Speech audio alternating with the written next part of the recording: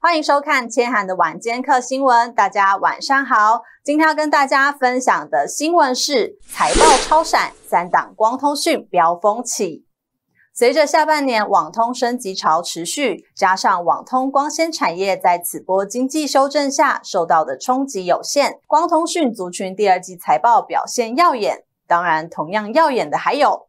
适逢理财周刊二十二周年，现在订阅理财周刊纸本杂志二十二期只要二二二二元，另外再送健康好礼三选一哦。有兴趣的欢迎填写影片下方的表单链接，千涵将亲自致电给您哦。欢迎大家踊跃填写。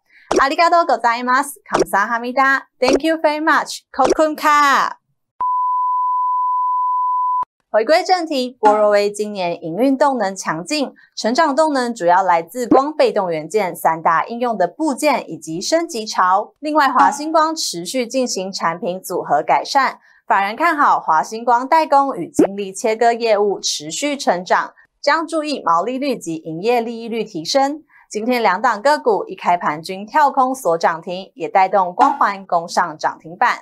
光纤市场下半年题材丰富，加上去年基期低，表现空间大，投资朋友不妨多加留意。以上资讯仅供参考，大家投资理财还是要谨慎评估哦。科新闻，我们下次见喽，Good Good Good Good Night。